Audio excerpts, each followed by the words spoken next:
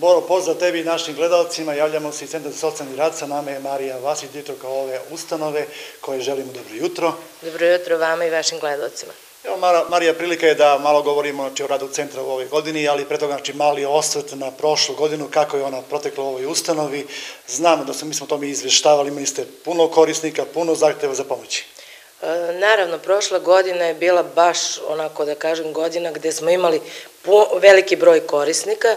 Mi smo imali otprilike od 1200 do 1500 porodica tokom godine je primalo novčanu socijalnu pomoć.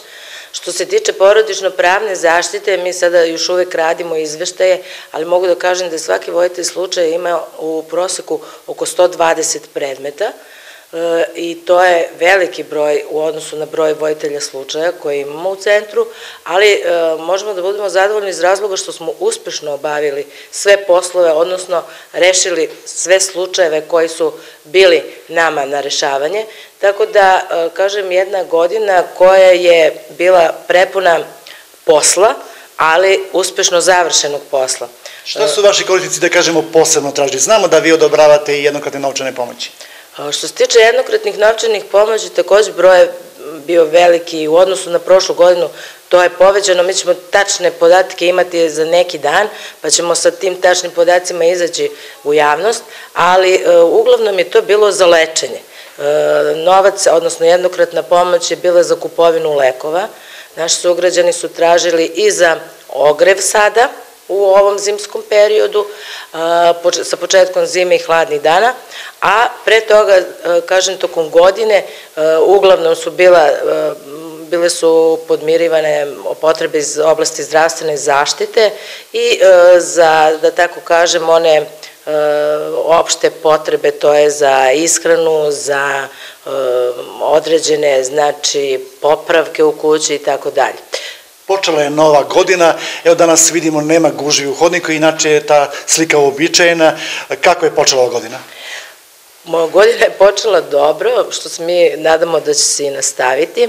Kažem, mi smo sada u periodu kada radimo izvešte, naravno primamo i zahteve, kao da nismo ni imali praznike i mali predah, ali eto, danas je, kažem, neko zatišje i to je dobro. Uglavnom, e, kažem, mi smo spremni za ovu godinu koja će očigledno biti puna izazova, e, očekuju nas izmene i dopune zakona, očekuje nas e, izrada, odnosno postupak izrade socijalnih karata, da li će biti u ovoj ili narednoj godini, ali očekuje nas niz novina, očekuje nas očekuju nas projekti sa kojima mislimo da konkurišemo, tako da godina će biti, kažem, opet veoma radna, puna izazova, ali mi ćemo biti tu da sve to završimo. Da, i puno posla. Bilo je ovih dana u medijima najava da će biti možda negde na proleće ukinuta, da kažemo, famozna uredba vlade o zabrani zapošljavanju u javnom sektoru. To važi i za vas kao ustanovu. Mi smo, čim se i ranije to mi isto govorili, vi imate veliki problem osipanja kadrova. Koliko trenutno centru nedostaje stručnjaka da bi, da kažemo, normalno mogo da, da radi i da funkcioniše? Mi nemamo još uvek informacije zvanične da će biti zabrana uredbe o zapošljavanju, a inače svakog dana gledamo da, da to bude i da tako kažem želimo da, da se ukine zabrana zapošljavanja da bi mogli ukoliko ima verovatno sredstava da primimo onaj broj kadrova koji nam nedostaje. Nama trenutno po rešenju i po sistematizaciji nedostaju petoro stručnih radnika i vi vidite ako je broj od 120 do 160 znači predmeta po vojitelju slučaja onda vidite u kojim to se uslovima radi, a kako bi bilo da znači dobijemo i nove stručne radnike, da se taj broj malo raspodeli, s obzirom da je broj u odnosu na prethodne godine, broj radnika je manji, eto vidite za, za, za pet ljudi ovaj, je manji, a broj predmeta je za oko 30% veći. I samo još jedno pitanje, rad centra sa migrantima?